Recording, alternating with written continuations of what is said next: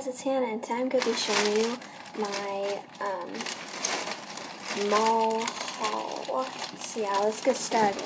So I'm going to start off with Claire's. So the first thing I got at Claire's was this makeup brush. It's really cute as a brush for, two brushes for your eyes. One that's pink, and then one that's like foamy, and I really like this. Next, I got these like necklaces, like they're chokers. Put them on your neck, and they're really cute. Next, I got this Extreme Volumizing Mascara. And then this Claire's Eye Kit.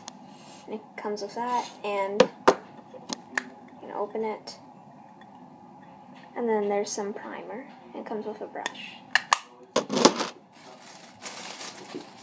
And then I got this lip pen, crayon and pen. Okay. Now from Bath and Body Works, I got this white peach um, new hand sanitizer, and it smells really good. And then I got this cover for it. And then for Forever 21,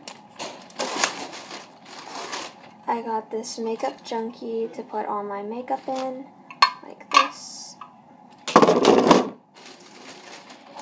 And then some makeup cleansing wipes.